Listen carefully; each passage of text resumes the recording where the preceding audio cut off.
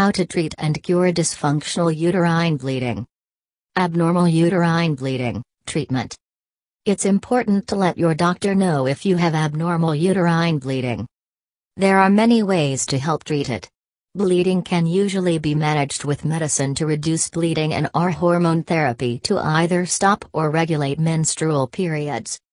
Surgical treatment is reserved for bleeding that can't be controlled with medicine or hormone therapy. Acute, severe uterine bleeding. Severe uterine bleeding is usually treated on an emergency basis with a short course of high-dose estrogen therapy.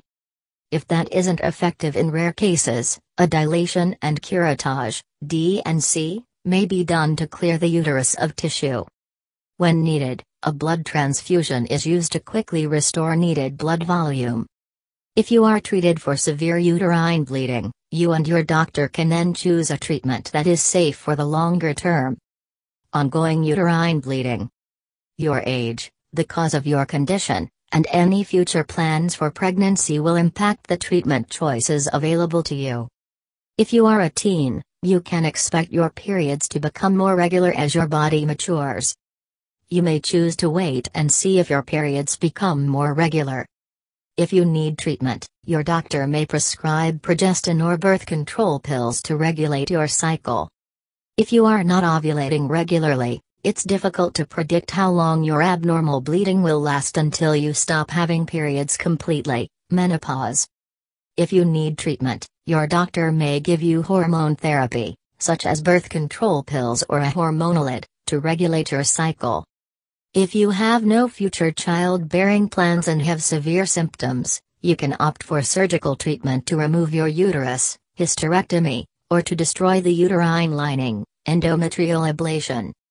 If you are ovulating regularly, have abnormal bleeding, and plan to become pregnant in the future, talk to your doctor about your treatment options. Depending on the cause of your bleeding, he or she may recommend treatments such as progestin or birth control pills or a hysteroscopy to remove polyps or fibroids. If you have no future pregnancy plans, you can consider endometrial ablation or hysterectomy if other treatment doesn't help. Causes dysfunctional uterine bleeding. There are two types of dysfunctional uterine bleeding. Anovulatory, not ovulating, caused by a low level of the hormone progesterone. Progesterone is necessary for the ovary to regularly release an egg, ovulation, as well as for regulating menstrual bleeding. Low progesterone causes irregular and heavy menstrual bleeding. This type of dysfunctional uterine bleeding is common before age 20 and after age 40, perimenopause.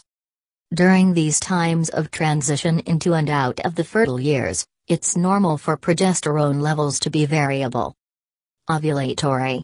As many as 10% of ovulating women have dysfunctional uterine bleeding despite having normal levels of progesterone and other hormones. In these cases, no hormonal or other cause can be found.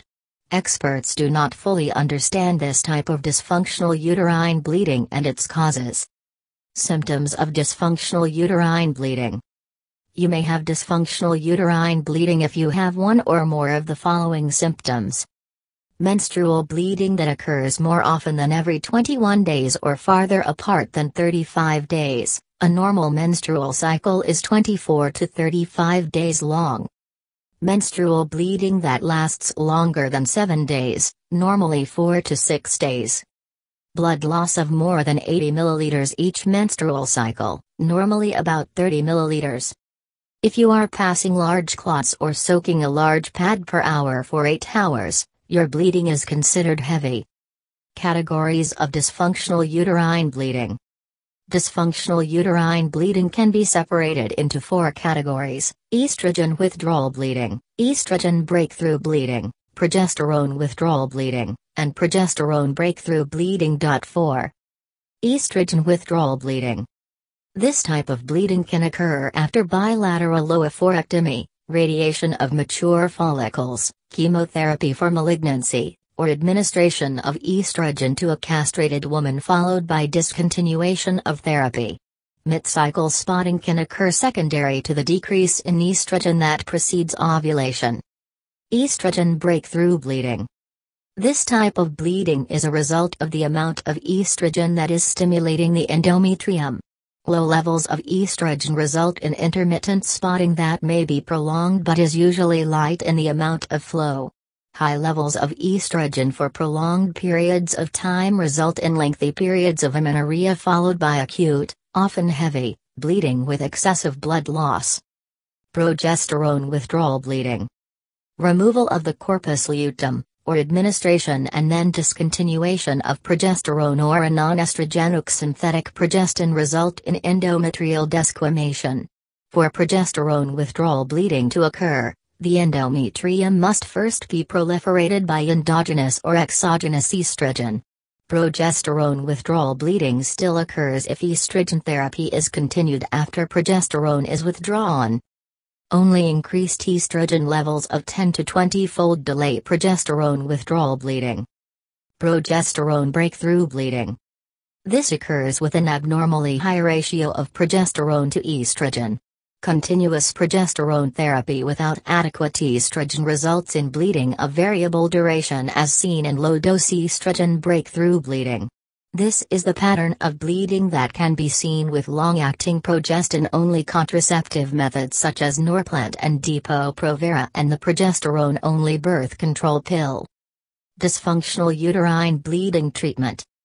Progesterone has been shown to help prevent overgrowth of the endometrium, which prevents dysfunctional uterine bleeding. Use of the levonorgestrelide, which releases a progesterone-like, synthetic hormone into the uterus, this reduces bleeding while preventing pregnancy. Hormone treatment. A short course of high-dose estrogen therapy is often used to stop dangerously heavy bleeding. Rarely used medications that stop estrogen production and menstruation, such as gonadotropin-releasing hormones or danazol. These medications cause severe side effects but are used in special cases. Surgery, such as dilation and curettage, D&C, for short-term relief of severe bleeding or endometrial ablation for longer-term relief of bleeding. In cases of severe uterine bleeding, blood transfusion may be used to quickly restore needed blood volume before a longer-term treatment is used. In uncontrollable cases of uterine bleeding, the uterus may be removed. Treatment options surgery Surgery is generally reserved for treating dysfunctional uterine bleeding that can't be controlled with medication. Diagnosis The diagnosis of abnormal uterine bleeding is a diagnosis made by exclusion of uterine or medical pathology.